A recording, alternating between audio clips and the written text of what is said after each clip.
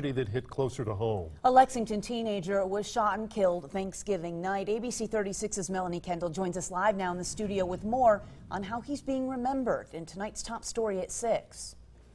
Leestown Middle School started with a moment of silence to remember Angel Juarez. Grief counselors were there to help teachers and students cope on this first day back since the shooting. Now, the district tells us Juarez transferred schools about a month ago, but everyone at Leestown Middle School still considers him part of the school family. I, can't even put it into words what this feels like. Heartbreak and sadness at Leestown Middle School. You know, we're, we're kind of a little family and we lost a member of our family. Lexington police say 14-year-old Angel Juarez was shot and killed Thanksgiving night after answering the door at his home. Investigators say the shooting happened because of a fight between 23-year-old Kevin Garcia and Juarez's older brother.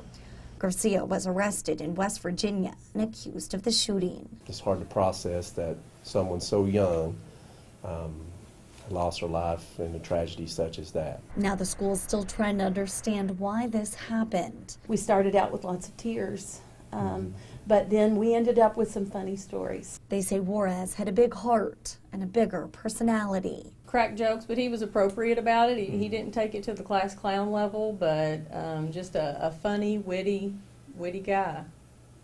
He added a lot to each classroom that he was in. Students spent the day making this banner as a way to grieve and as a way to remember their friend who was taken too soon. He had so much potential. I mean, he had the world at his fingertips.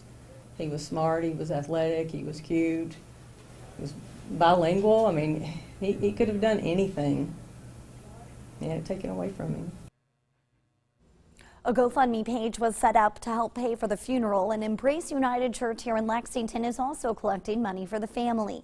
We've learned there's a candlelight vigil being organized next Sunday at Thompson Park. We have details on our website, WTVQ.com. Reporting live in the studio, Melanie Kendall, ABC 36 News.